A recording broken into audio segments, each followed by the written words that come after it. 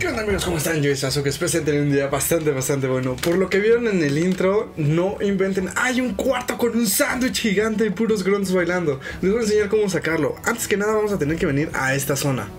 Les enseño exactamente aquí. Yo les recomiendo que vayan a esta boa o a la que se encuentra aquí y pidan un wasp, se vengan para acá volando y bueno, les enseño. Vamos a venir y nos vamos a encontrar como este tipo de cueva. Ahora lo que vamos a hacer es seguirnos toda la cueva completamente normal. Y vámonos hasta el fondo, se los pongo en cámara rápida.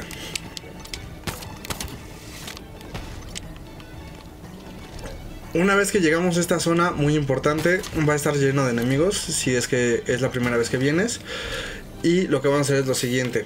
Vamos a venirnos a uno de estos pilares, pero ¿cuál es? Creo que es este de aquí.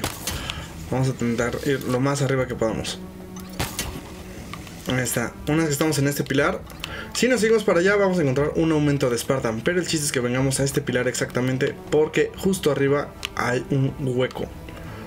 Nos acomodamos aquí y aquí hay un hueco. Si nosotros nos vamos para arriba, vamos a ver que encontramos un cuarto secreto que tiene esto.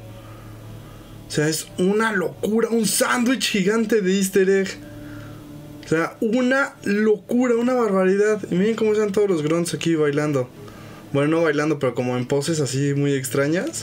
Y el sándwich gigante. O sea, una locura. Todo como en forma de kung fu. Una verdadera locura. ¿Cómo ven este pequeño easter egg? Una locura, ¿no?